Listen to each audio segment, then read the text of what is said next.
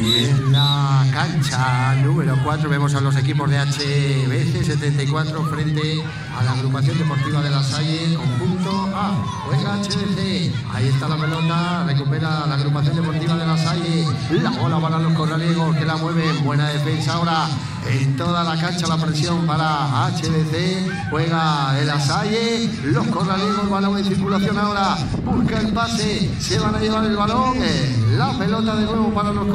que también están representados por eh, el equipo, eh, les vemos como en la cancha número 5 se enfrentan a la escuadra B también de HBC, saque desde la lateral, va a haber lanzamiento, balón fuera y la juega la agrupación deportiva de la SAI, el conjunto anfitrión de este conjunto de balonmano hierba. Juegan con el equipo A. Bola para la, presiona bien HBC, pelota para la agrupación deportiva de la Salle, busca el pase, que viene, mete, ahí está jugando el lanzamiento ahora, se despistaba el portero de HBC y balones para la escuadra visitante y aquí va a perder la bola en el torneo nacional de balonmano Villerba, ahí está el lanzamiento fuera.